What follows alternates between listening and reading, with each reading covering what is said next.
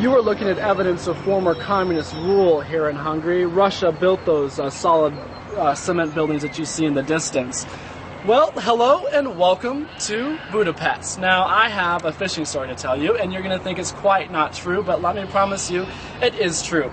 You are just looking at Buda. Now, right behind me is Pest. In 1873, the two came together to be known as Budapest, right?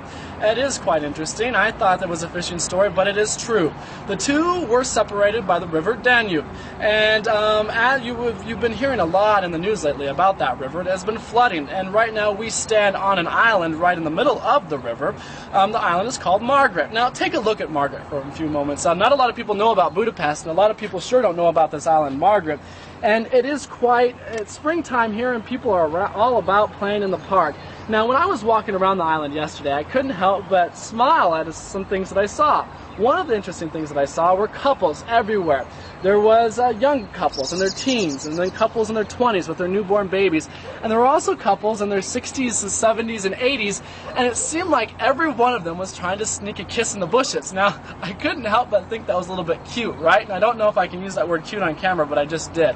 How about that, right? Um, the Danube River has been in the news a lot lately as flooding.